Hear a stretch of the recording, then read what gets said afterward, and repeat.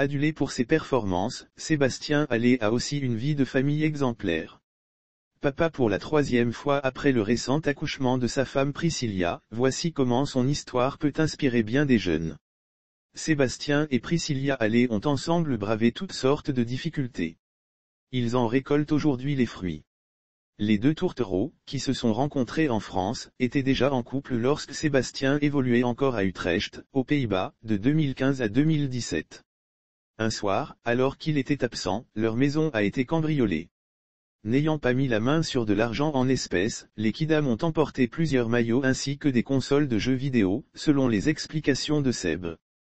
Un mariage dans la discrétion ne se sentant plus en sécurité dans le quartier, Priscilla qui attendait le premier enfant du couple, a sombré dans l'angoisse. Sébastien a alors déménagé avec sa femme pour lui faire oublier cette macabre intrusion. La même année, les deux amoureux se sont mariés légalement dans la plus grande discrétion. Ainsi, une fille est née.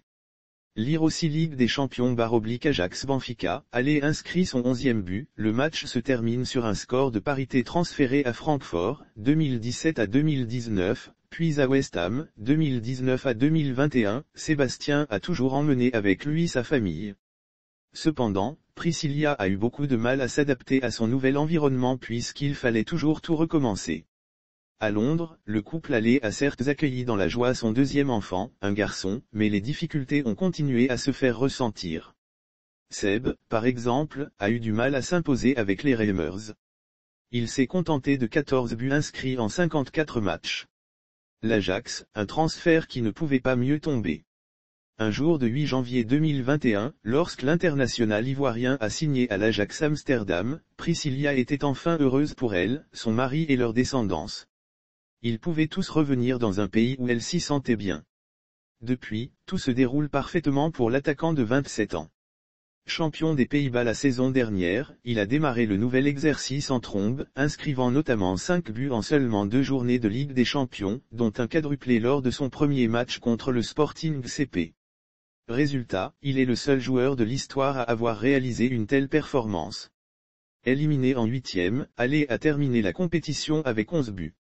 Le football dure un temps mais la famille, c'est pour toute la vie, auteur d'un doublé contre le Cameroun dans le choc des éliminatoires allés de la Coupe du Monde 2022, Allé a manqué la double confrontation face au Malawi. Il est resté auprès de Priscilla qui attendait leur troisième enfant. La bonne nouvelle est tombée plus tard, le dernier, pour l'instant, des Allé est né.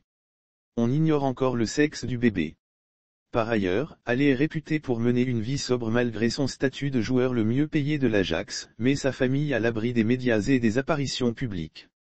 Les tatouages, voitures de luxe et fêtes géantes ne font pas partie de ses dadas. Sa priorité demeure sa famille. Le football dure un temps mais la famille c'est pour toute la vie, a signé l'avant-centre numéro 1 des éléphants.